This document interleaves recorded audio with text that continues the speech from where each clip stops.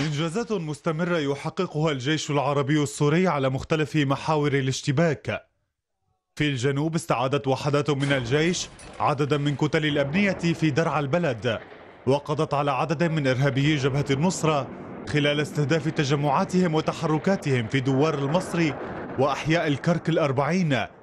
كما دمرت عددا من السيارات بمن فيها من إرهابيين أثناء محاولتها التحرك باتجاه إحدى النقاط العسكرية في المنطقة.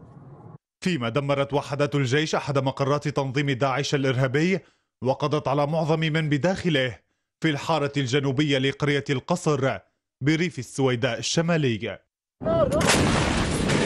في الريف الشمالي لمحافظة حماس استهدف سلاح المدفعية أوكار جبهة النصرة في بلدة اللطامنة. ما أسفر عن تدمير آليتين ومقتل وإصابة عدد من الإرهابيين. كما استهدف الجيش محاور تحرك الإرهابيين ومواقع انتشارهم في قرى طيبة الإمام والحاية ومعركبة ووادي كفر زيتة ما أدى إلى مقتل وإصابة العديد من الإرهابيين. تدمير آليات تابعة لجبهة النصرة ومقتل عدد من أفرادها كانت حصيلة ضربات جوية نفذها سلاح الجو في الجيش. على أوكار التنظيم الإرهابي في بلدة سرمدة شمال محافظة إدلب.